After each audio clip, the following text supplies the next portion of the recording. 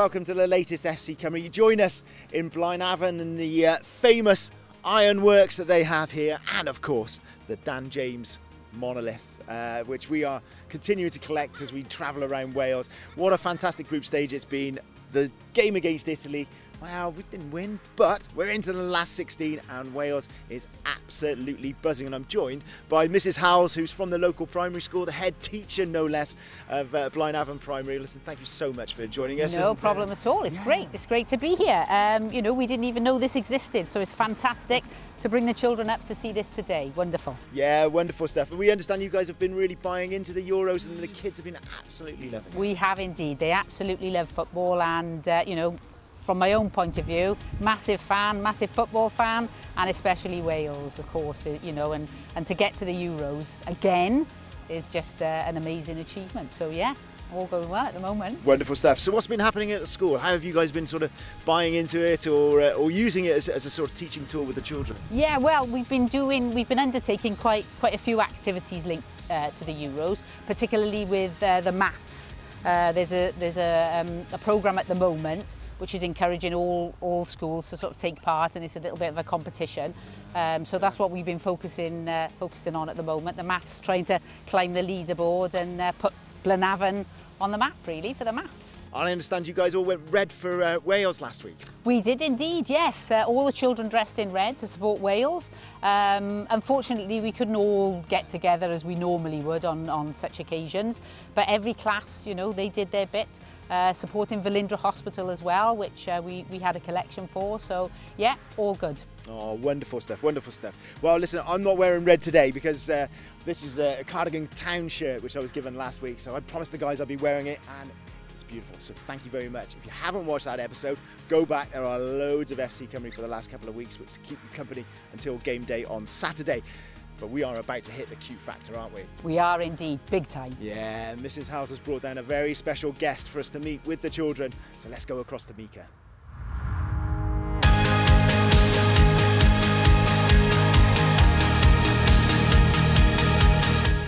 Thanks, Lawrence. I'm here with the children from Blaenavon Primary School and a very special guest. Who can introduce me here? Raya. Raya, and what does Raya do? Because she's sitting very good right now. So who is she? She is our well-being dog for the school. she is very lovely and I'm hoping that she's not going to distract me from this interview.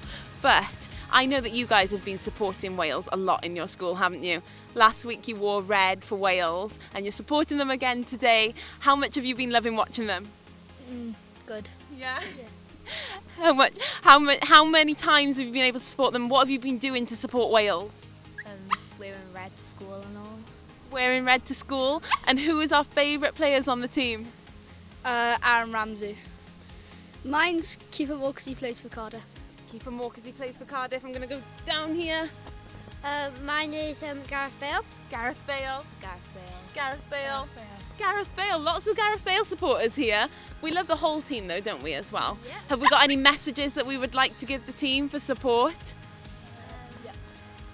Uh, we wish you the best of luck from BHBC Primary School. Uh, we love to play football at break time and our wish is to become a Wales player one day. Can we get a nice big Go Wales so that they can hear you all the way from here? Three, two, one. Go Wales! Oh, amazing. I'm sure they heard that. I'm definitely sure they heard that. Well, we headed to Kilgetty for a BT Connected Clubs Day. Matty Jones gave a bit of a masterclass, so let's check that out.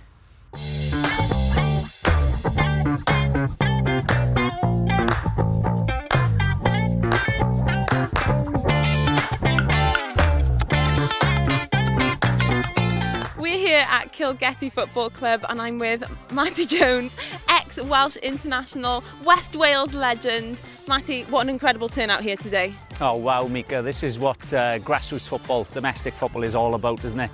Young children with smiles on their faces, uh, a range of different football shirts, but I'm proud to see that there's many Welsh shirts out there as well. So really engrossed and and excited to get started with these young children. Yes, and get started you will in a second.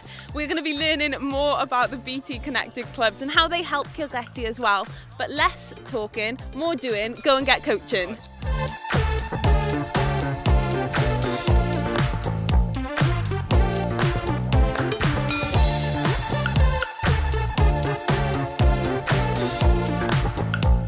Lucas, it's a fantastic event here today, but what does it mean to be a BT Connected club? Well, originally, um, when we started the partnership, um, BT came in and they put connectivity into the clubhouse. Um, uh, they've kind of given us free Wi-Fi uh, connectivity for three years, which is kind of amazing for like a grassroots club with you know very little finances, to be fair. So that's that's a real sort of uh, bonus for us. Kind of uh, exposure as well that it gives us. I mean, events like today is fantastic, and it, it, it sort of raises our profile within the community as well.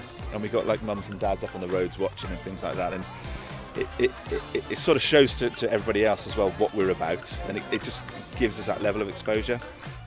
What makes this club so special?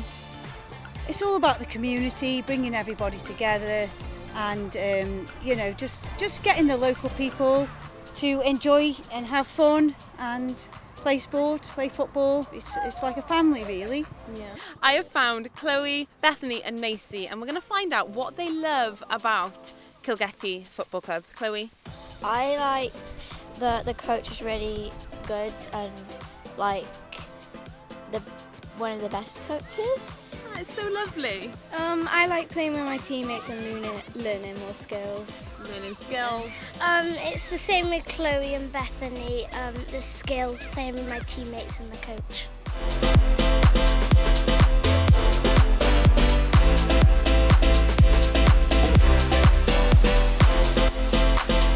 if you do something wrong and you make a mistake, that it's okay, you try to perfect it, you make it right, or you try a different technique that may, may make the situation easy for you. Matty, did you have fun coaching out there? Oh, Mika, how can you not have fun? These, these children are so infectious, you know, the, the range of age group this year, um, you know, the passion differs between one child to the next child. They're wonderful, they're engaging in everything they're doing, they're, they're disciplined and, and they're obviously listening to the coaches, which speaks volumes for the, for the club, you know, in terms of what they put in place, the expectation of these young children when they come. But ultimately, as you can see, you look at every practice that's going on, it's all fun generated and, and that's the key within, within um, the grassroots football. And I suppose how important are these BT connected clubs and how, how do they help the clubs, how do they help the community as well? Well, the, the introduction of, of any sponsor, but BT particularly, has been you know, a great addition to any, any small you know, grassroots club. And, and I think, like you speak to parents this morning, all coaches, they need, need so much. And even if that's a bag of balls or you know a set of nets or a pack of cones whatever it, it may be it's it's you know it's everything that that that will help and, and nurture and promote football within the community. And BT are getting it right because the you know what what they they're doing is allowing um, opportunities for the these youngsters to get out on the grass. You know it's it's a great brand and it's one that supports many many positive things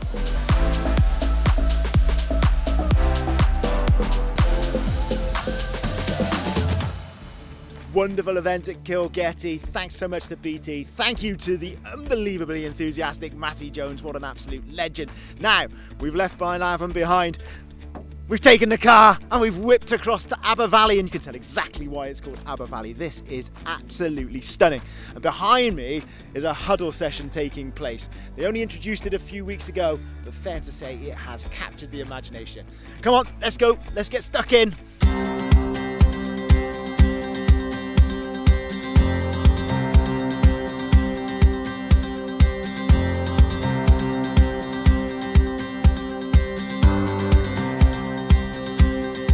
When the idea came to do a huddle session, what were your thoughts about it? Did you think it was going to take off the way it has? Because this is incredible. Definitely not. I never thought we'd get the numbers that we've been getting. Um, the first couple of weeks, I think we had we were inundated with um, sort of numbers, um, sort of 40, 50, 60, and then we've I think over the last six weeks we've averaged sort of 38 to 40 girls every week, which is incredible. And uh, like you said, I didn't anticipate this whatsoever. I've got to be honest. So um, yeah. Lucy, this is amazing. Like we were watching you in the middle there, you look an actual natural huddle coach.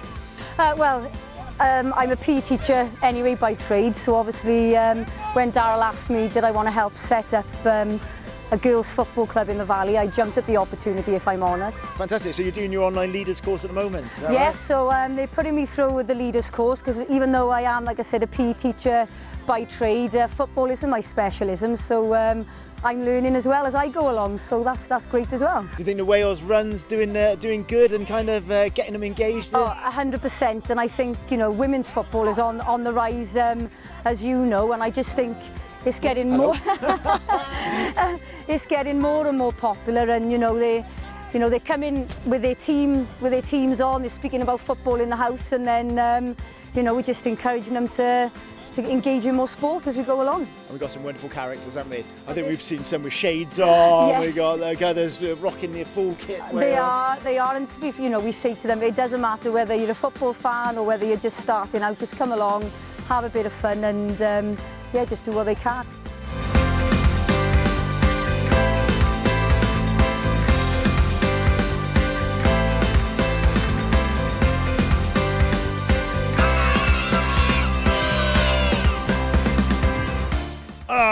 What a fantastic episode. Hopefully your heart is swelled with Welsh football goodness.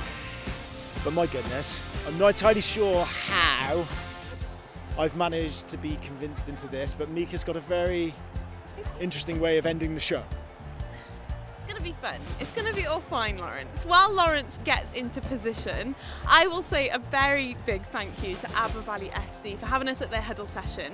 Make sure you tune into tomorrow's live show as we will be joined by Jonny Owen, Welsh fan extraordinaire and filmmaker.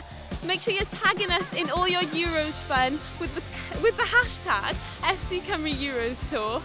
But all that is left to do is to say, girls, are you ready?